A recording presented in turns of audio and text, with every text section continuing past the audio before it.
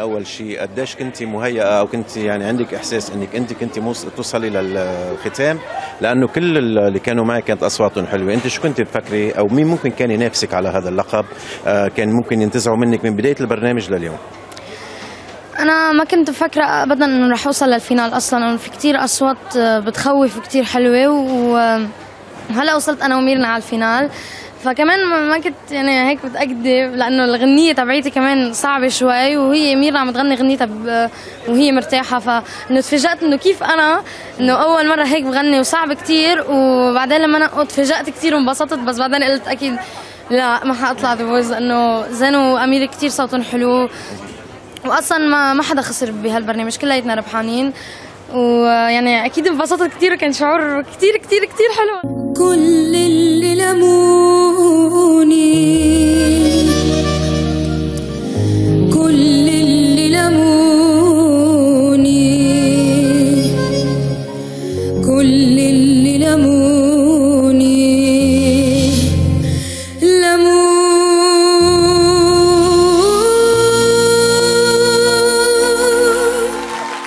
اخترتي أغنيتين آه، للفنان محمد عبدو أغنية آه، بعد كنتم وأيضا أغنية للفنانه ذكرى اللي هي من أصعب الأغاني آه، الفنانه ذكرى أحلى صوت بتعرفي أنت قديش صوتها حلو. آه، مين آه، دربك وأنت كنت بتعرفيهم هول الأغاني قبل ما تكوني بهذا البرنامج ولا هي أول مرة أنت بتغنيهم؟ آه، هدول الأغاني أنا ما كنت بعرفهم ابدا بس آه، أمي سمعتنيهم ودربتني عليهم كتير كتير منيح لحتى غنيتهم بهالطريقة. ولو ما كنت متوترة على المسرح كنت غنيتهم لسه أحلى. و وأنا تعبت كتير بهالغنية لأنه أول مرة بسمعه صعب كتير. والريتم كمان سريع مشان هيك دربتني عليها أمي كتير منيح وكاظم كمان آه، وقتها كنا بالريهرسلز و- وهيك. بتقولي قاسم زميلك صار بطل الأستاذ و- وهن اثنيناتهم كمان كانوا يمرنوني على الغنية ومشان هيك اديتها بهالطريقة وفيني قصة أديها أحلى من هيك. أمامك الآن أشبعني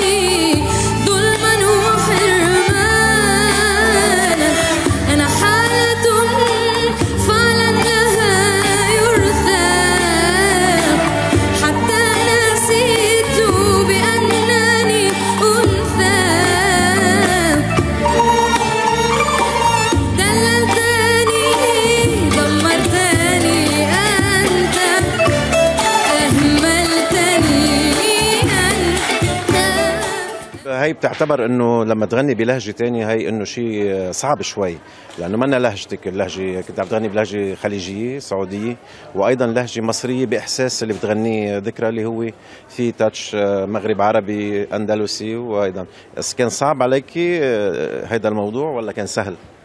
آه، أول شيء و- وقتها سمعت الغنية كانت كان صعب شوي كانت صعبة شوي اللهجة بس وقتها تعلمتها تعودت عليها وصرت أعرف أقولها بسهولة. بس بالأول كانت كتير صعبة كمان الخليجي والمصري مع بعض صعبين كتير بس تعودت عليهم واديتهم شكل كتير حلو. طيب لو بدي أقول أنا أنت هلأ آه، تعرفتي على الموسيقى العربية المضبوطه آه، لو بتصيري بعدين نجمة بالمستقبل رح تضلك تفكري بنفس الطريقة إنك تختاري ألحان مهمة وألأغاني مهمة تغنيها ولا رح تفوتي بالجو السائد وتختاري أغاني خفيفة وأغاني بتس يعني مثل ما بيحبوا الناس يعني اللي بترقص وهيك بسموها أغاني شبابية. لا آه، أنا أكيد آه، بعمل الاثنين بس أهم شيء بركز على الأغاني يعني المهمين أكثر من يلي بيعملوا جو لأنه هن الوحيدين اللي بيدربوا الصوت أكثر من يلي بيعملوا جو. أشتاق وأسأل عنكم الأشواق لفراق لفراق لفراق ما غير علي الفراق رح تكفي دراسة وحلمك بالحياة تصيري آه، فنانة أو بتحبي تكوني عندك دراسة معينة والفن يكون جانب آخر من حياتك؟ أنا بدي أكمل دراستي بالآخر واخلص كل شيء وأعمل يعني العلم يلي أنا بحبه. بعدين آه، بتعلم الموسيقى على رواق وقتها وقتها بكبر وبصير professional بالأغاني.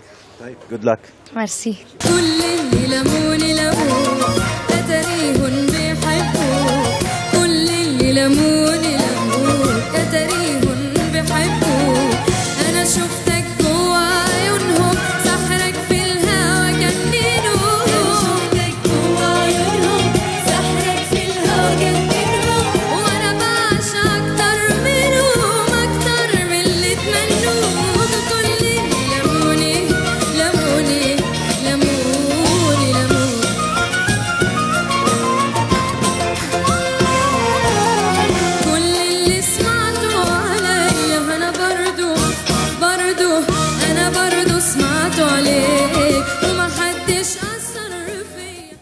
أمس مواقع التواصل الاجتماعي كانت مشتعلة وخصوصا بعد ما فازت لين يعني حتى شفنا في عدد كبير من السياسيين اللبنانيين تفاعلوا مع الموضوع حتى كثير في فنانين عرب. فعلا.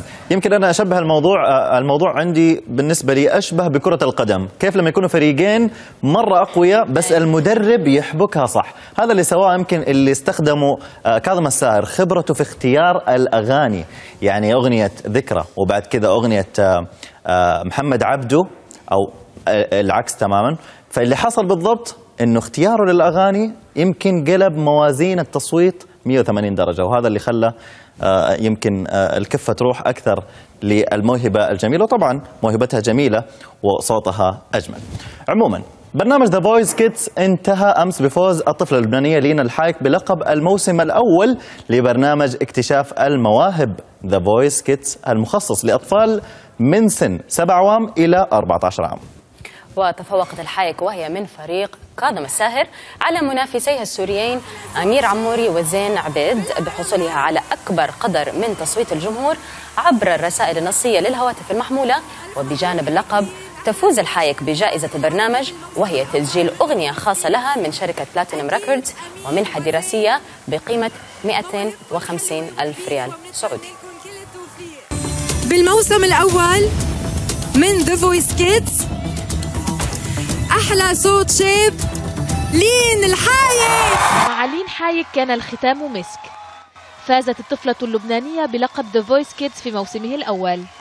رحلة بدأتها مع كاظم الساهر وأنهتها مع جمهور أحبها ومنحها أعلى نسبة تصويت.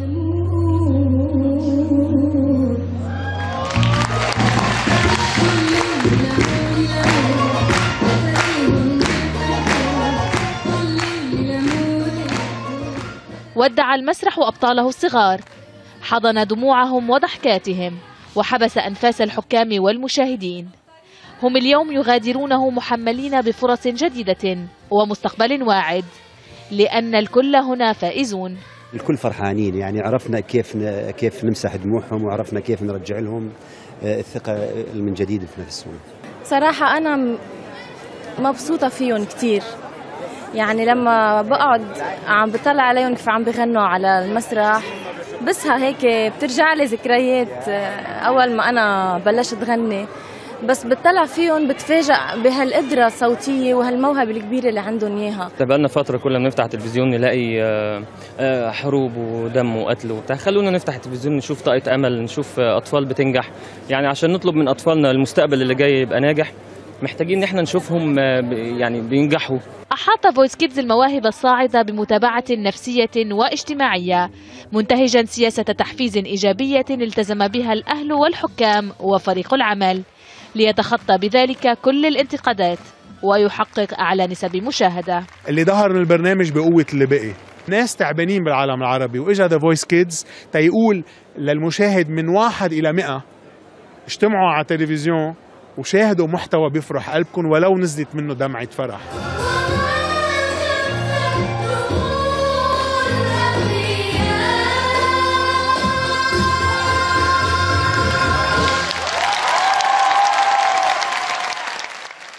نفض أطفال العالم العربي غبار الحرب والأزمات في بلادهم.